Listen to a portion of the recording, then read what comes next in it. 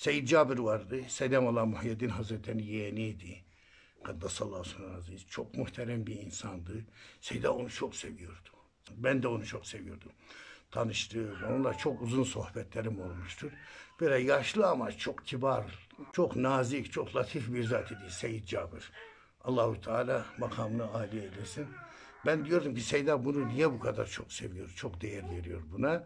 Bir gece rüyamda gördüm. Dedem adam Muhyiddin böyle oturuyor.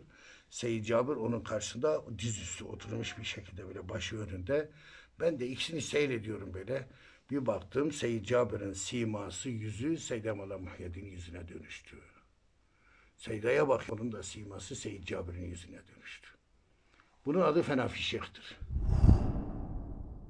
Yani mürşidinin sevgisinde ve mürşidinin sevgisini kazanma konusunda artık fani olmak, kendini kaybetmek, kendinden tamamen vazgeçme noktasına gelmektir.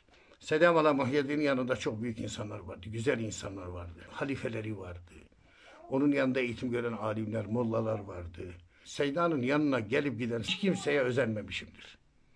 Yani şeyh olmuş, alim olmuş, halife olmuş. Hiç kimseye imrenmedim ve özenmedim.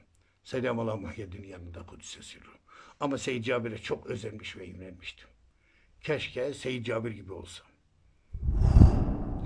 ne büyük bir allame, ne büyük bir halife, ne büyük bir şey.